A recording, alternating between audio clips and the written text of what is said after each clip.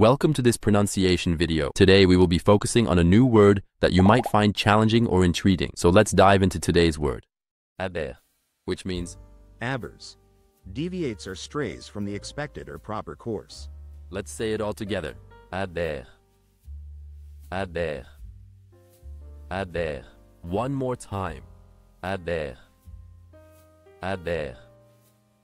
Aberres. Thank you for joining us on this adventure in pronunciation. Remember, language is a journey, not a destination. Keep exploring, experimenting, and expanding your linguistic horizons. We'll see you next time.